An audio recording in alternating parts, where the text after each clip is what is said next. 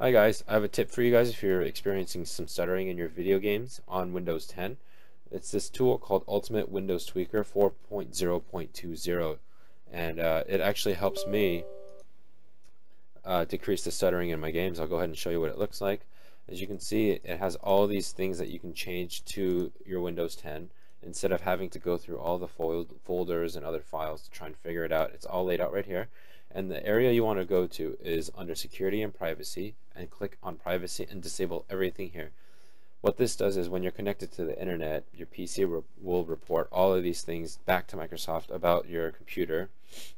And what you want to do is disable all of it because what it does is when it does send some information, it could cause some CPU usage or whatnot, which could also in turn cause some stuttering for your computer. And when I applied this and disabled everything, it actually increased the uh, what, what do I want to call it, the effectiveness of my PC and reduced the stuttering by a quite noticeable amount. And this is what the website looks like.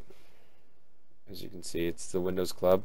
And you're gonna, you, if you want to read about it, it's all right here in the information. The download bar is all the way at the bottom here.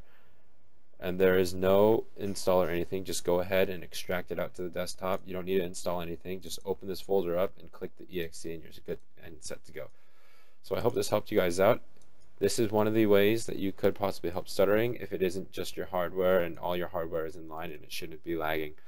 So hope this video helped you out. Go ahead and uh, drop a like if you liked it, dislike if you disliked it. Leave a comment letting me know what else I should do or what other questions that you have and I'll be more than welcome to go ahead and try and help you guys out. Thanks a lot for watching. Have a good day.